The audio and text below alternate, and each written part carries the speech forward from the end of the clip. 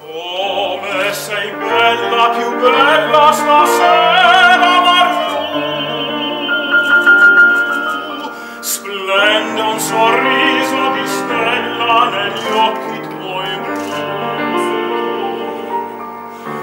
Anche se avesse il destino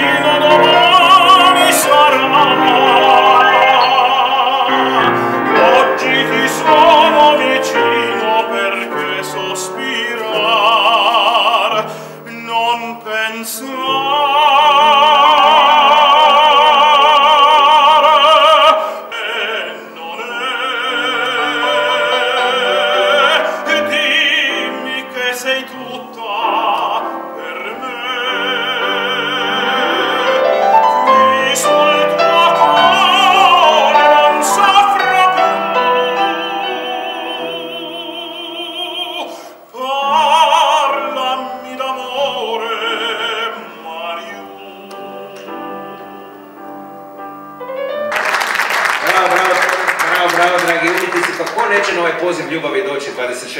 eh, 26. svibnja u Lisinski? To bi volio vidjeti. Mislim da će biti rasprodan koncert na ovaj poziv ljubavi bez zlobe.